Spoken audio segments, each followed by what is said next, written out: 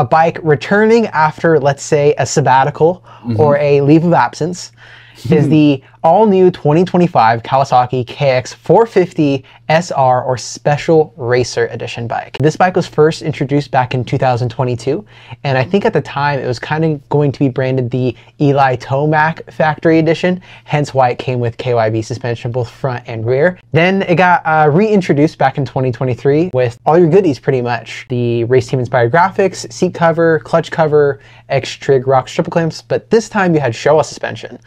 And that only stuck around for just one short year. Back in 2024, Kawasaki released the all new generation KX450, and along with that, they released their 50th anniversary edition bike that came with special edition graphics, seat cover, silver hoops, which looked really cool. For 2025, we were wondering, hey, is this special edition racer bike going to come back? And it did. Dude, just looking at the bike, it looks really freaking good. It does. I agree. The styling's really clean on it. It catches your attention, but I feel like it's not overly done or overly loud. It just looks very factory, but in a good standout way. Mm-hmm. Yeah, I like the simplistic look they took with the graphics. And one of the first things that stood out to me was there's no infamous monster claw on the bike. That's big. Yeah, which is huge. Monster Energy and Kawasaki have had a long relationship. And if this is going to be, let's call their special racer or factory edition bike, you would think it's going to heavily mimic the bike that Jason Anderson and a certain Spanish rider are going to be riding in 2025. Hmm. when the SR was introduced in 2022 and in 2023, it sported that monster claw, both on the shroud, the front fender, the rear fender, I believe, as well. So interesting to not see that monster claw on this bike.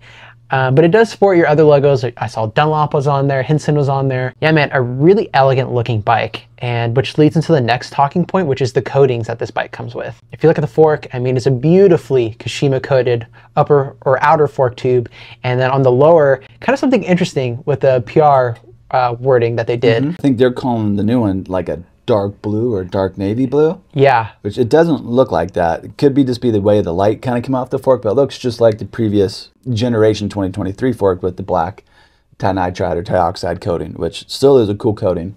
I'm just curious if it was just a mismarket on their end, kind of like what happened on the 250. Saying the 250 had 48 mil Showa forks, and then we find out it's actually has 49 yep. um, on it. So probably just one of those things. I wonder if it's the same exact forks from the 2023 SR, and now it's just on the 24, or is it coated tubes with the same 24 internals? You see what I mean? Like, is it the previous internals from 2023, or is it the 2024 internals just with dressed up coatings on the outside? Yeah, time will have to tell. But if one of you guys pick up a 2025 KX450 SR, don't be shy. Bring it in. You know, Yes. we'd love to take a look at it and uh, just do a deep dive video on that. But For sure. We have an old video real quick where we compare the SR Kawasaki suspension with the production suspension. We have them laid out top to bottom right next to each other. We go over the details and what's different. So if you're curious about that for the 23 model, uh, you can check that out. And we'll do something similar this year with the 25 once we get our hands on it.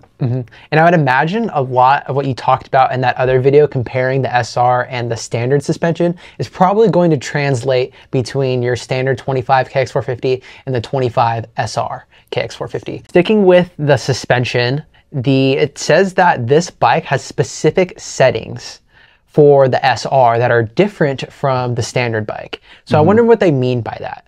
Are they doing a massive overhaul or are they just a subtle change? Or maybe it's the same because we have seen that in the Yes. past. Um, but I wonder what they mean by that because they say that's for the both fork and shock on this SR has tailor-made settings for this bike. So what do you think they could have possibly improved upon or changed with the SR? Yeah, good question, man. You know, going back to the 23, it was pretty minor changes, but it was all very well thought out and placed changes. And to articulate that in more detail, some riders felt like the 23 regular edition bike was good suspension, but a little on the soft side. And then the SR had slightly firmer suspension on it. And a lot of riders tend to favor that instead. My guess, just off the previous, what we've seen in the past, I would think probably something similar as well. And we've kind of already noticed that ourselves, meaning the 24 and the 25 is a great bike, a little bit on the soft side for the more aggressive and fast riders out of the box. So I would think they probably did something similar with this suspension to give it a little more hold up, make it more of a bike you can ride a little more aggressive right out of the box to go hand in hand with that SR kind of special racer edition. And it looks like the shock body uh, itself is actually coated. Um, one thing that stood out though is no coatings on the shock shaft itself. Which is kind of a bummer, just because it went. Yeah. all out in the fork. I mean, the fork lugs are done, the inner tubes, the outer tubes. You also have the X-Trig ROCS triple clamps to paired with that on the fork. Mm-hmm. The shock, they just did the shock body itself. So one area that they could improve upon, wink, wink, Hmm. heading into 2026. Yeah, that and it looked like it was a 16 mil shaft still. So um, it would have been really cool to see an 18 mil shaft like Honda was doing on their Works Edition models. The reason for that is a lot of people assume we do a bigger shock shaft for like rigidity, so the shock is harder to break. It's not so much that; it actually has to do with the bigger the shock shaft, the more oil the shock shaft is going to push through the compression adjuster on the shock. Um, so for the same amount of travel, if you have a 16 mil shaft and an 18 mil, the 18 mil is going to push a lot more oil through the adjuster, making the adjuster more effective in the damping it provides as you ride, but also the clicker is more effective in terms of when you adjust them and the amount of feedback you get back from it. Maybe we'll see that next year out of them, but we can talk about what we hope to see at the end of the video. Uh, moving on a little bit, we'll touch on the engine. Granted, we just do suspension here at Ride JBI, Mm-hmm, but uh, we won't spend too much time on the engine. But it says it comes with a modified cylinder head, polished intake ports, and you also get a coated cylinder head cover. Um, really nice. It kind of just looks like the the standard one. I'm going to be honest. It does, it does. really does. But what else looks really cool on this bike is the factory race team inspired Hinson clutch cover. Super cool to see that on this bike. You get a full Pro Circuit TI6, not just a standard, a titanium front and rear We love exhaust titanium. system. Yeah, we love titanium here at Ride JBI. And uh, that thing just looks really cool. Moving on to the wheel set, this does come with a DID STX wheel set that's both front and rear. Super cool to see that just because they're quite a bit stronger than some of the other offerings that even the standard bike comes with or even some of the aftermarket offerings that you can go and purchase yourself. But one thing that you pointed out to me was there's no billet hubs on the wheel set. Again, going back to what they could improve upon for 26, wink wink, and uh, maybe add to this bike. Yeah, I mean, even if the hubs are just silver, I think it would just be a good match to the rest of the bike. They did the X-Trig clamps to get rid of the stock cast clamps. So I just think the billet hubs would just be, it just fit the rest of the bike and what they're doing to it uh, overall. And then we noticed that the engine hangers were the same. They have the substitute or The optional, yep. mounts, and it doesn't look like they're using those. It looks like the same hangers uh, for it. So interesting to see what they're doing. Really cool bike. Like the SR looks badass. I wonder if it's gonna run how kind of people expect the 450 to run. Like if it's gonna be much more powerful and fast and kind of brutish than how the 24 and 25 OEM or non non SR models are. I mean, this bike is arguably the best, let's say, bang for your buck when it comes to Works Edition bikes. Obviously, the Austrians have a really good trio um, of bikes, and Honda has done a really good job with their Works Edition bike. But I feel like this bike, whenever it comes out, people are like, Kawasaki does it right. Man, if you're racing the stock class and you go and buy one of these things because it's gonna be stock legal, you definitely are gonna have a leg up on the competition. Oof. For sure. So I can see a big market in that alone just for the advantage you're going to get. Likely a faster motor, better stock suspension. Thing just looks sick.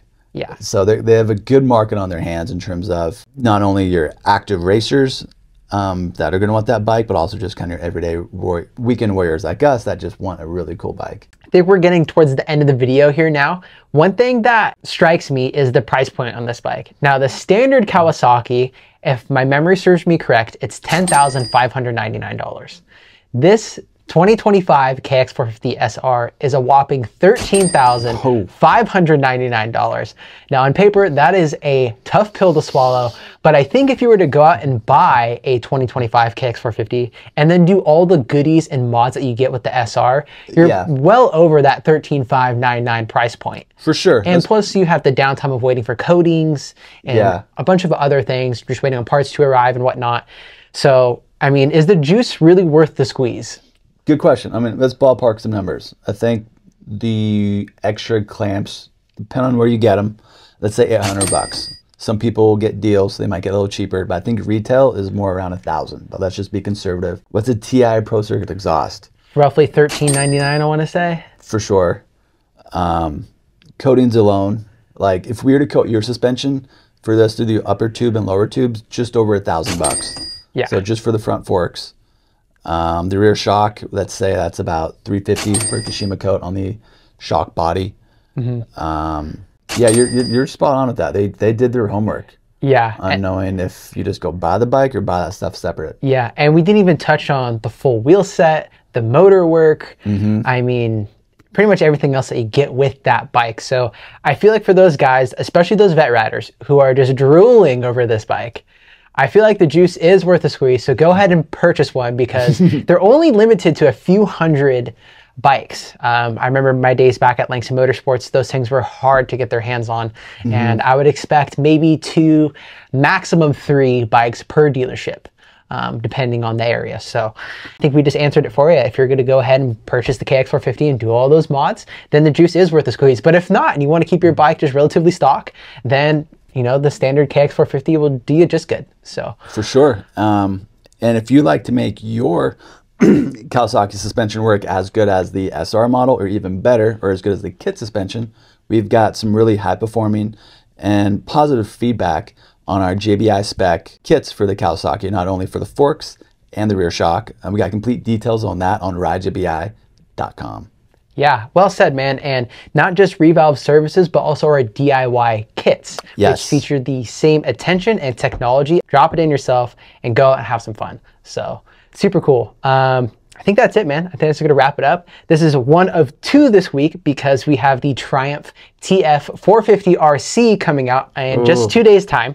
so I'm cool. super excited. Thank you guys for tuning in to this episode of Shop Talk or Bike Breakdown, whatever. We're doing this kind of impromptu as this is the same day as the bike is released. So um, by the time you guys are watching this, we probably filmed this just a couple short hours before the video is posted. So uh, thank you guys once again. We really appreciate all the traction and um, attention that the YouTube channel has been getting as of late.